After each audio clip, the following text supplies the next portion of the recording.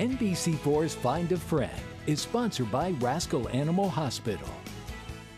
And this morning on Find a Friend, we have some brand new friends coming in for us today. And well, Karen is not a new friend, but she's in a new organization. Yeah, tell me a little bit about Sophia's Grace Foundation. Um, Sophia's Grace is an organization. It was founded in 2004. Our kind of home base is Coatesville, Pennsylvania, but we have we're foster based. We're a small breed and dachshund rescue primarily. Um, we have helped an occasional other dog that was urgent, and we if we have a foster available. We like to be known as the organization that never says no, but we have to have some guidelines because our following is primarily dachshund and small breed. and like the one that uh, Brittany is holding there today. Like she has a little, little palm right mix looking great. Well, this is little Rex, and he's about six years old. He is up for adoption. He's fostered here in Columbus um, with Brittany, actually. Mm-hmm. And he lives with how many other dogs Right now, eight. and cats? Yes.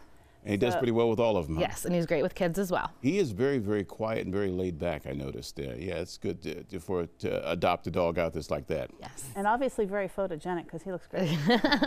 And he thinks he looks great too. That's also that's good. That's really good. So now you have a, a, a different uh, event coming up here before too long. It's a, a Yappy Hour. Tell me a little bit about that. We are taking part in the Yappy Hour that's going to be down at the Gateway District. Mm-hmm. That's going to be on Sunday from 2 until 5.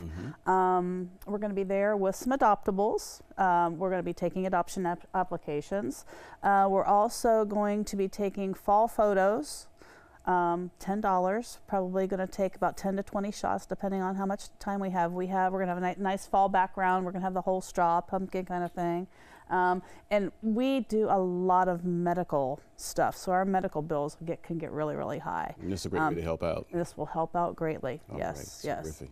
Thank you so much for coming in today, Karen. It's good to see you again. It's nice to be you. here. and bringing in Rex. And I hope Rex gets a home really, really soon. Again, if you want to find out more about adopting Rex, uh, the web address is Sophia's, sophiasgracefoundation.org. You can check in there, or you can check him out tomorrow at the Yappy Hour down at Gateway. Perfect. Thank you so much.